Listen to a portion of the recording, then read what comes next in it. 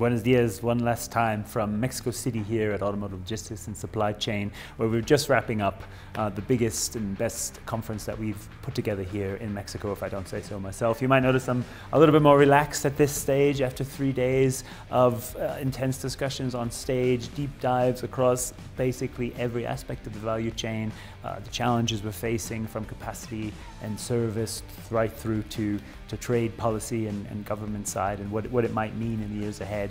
Um, but uh, as I've mentioned a few times, this uh, audience has brought such energy and such optimism uh, whilst still facing the challenges ahead that I'm certainly leaving here uh, very positive and, and very, very pleased at what we've been able to share. Today, in the last day of the conference, we had really strong focus on digitalization, on, on transformation, on partnership, and on skills or the talent, if you like, aspect of the industry. In the morning, uh, we heard from BMW's Raul Gamboa about um, a series of digital initiatives at BMW's plant here in, in Mexico, uh, which includes both um, homegrown apps developed for things like freight authorization, for simplifying processes, material control, um, right through to using BMW's uh, cloud to integrate data and information from across the supply chain and really mitigate some of the issues. And then, then looking ahead to, to things that can come, be it humanoid uh, robots in logistics and autonomous vehicles being used in yards. So very exciting picture. And it, it, it directly kind of feeds into the talent picture and, and the skills and that, that'll be needed to keep Mexico uh, competitive and, and thriving in the, in the years ahead.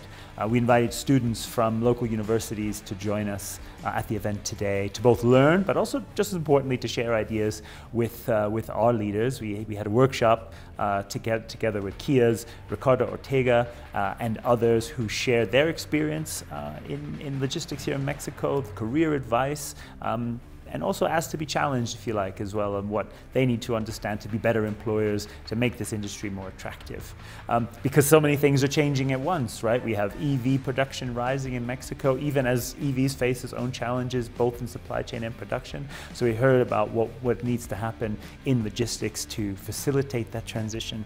And as ever, it always often comes down to stronger, closer partnerships put together a panel uh, with GM's Monica, uh, Monica Garcia, who's leading purchasing and supply chain for GM Mexico, along with other representatives from the industry, uh, talking about how the industry needs to work together more, of course, to adapt, um, needs new ideas coming in, needs to challenge one another, and an open platform for sharing. Because uh, although long-term partnerships are an important part of this picture, uh, and perhaps even more important, important with new competitors on the market, putting more pressure on capacity and price, um, this open sharing and trust to be able to build the relationship and be ready to adapt and change was definitely some of the key messages that, that came out of that. Will only be more important in, a, in an uncertain world uh, that we, we live in, and an uncertain supply chain, uh, uncertainty about what will come uh, to certain aspects of, of trade policy and the market to come. But as long as providers, suppliers, manufacturers are sharing information, communicating together, there's a all the chance in the world to be successful in this transition again.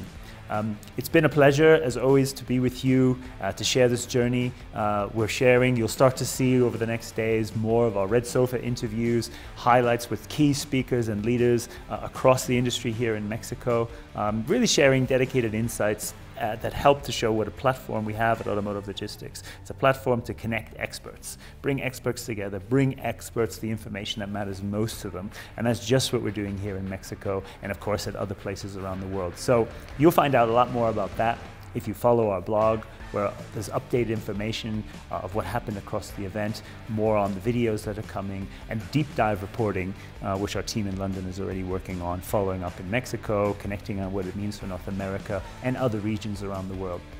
So for now, muchas gracias. It's once again been my pleasure. We're already gearing up for next year. We'll make it even bigger and better. Uh, and I'd love sharing every moment of it with you and wishing you all the best in Mexico City. We'll see you real soon.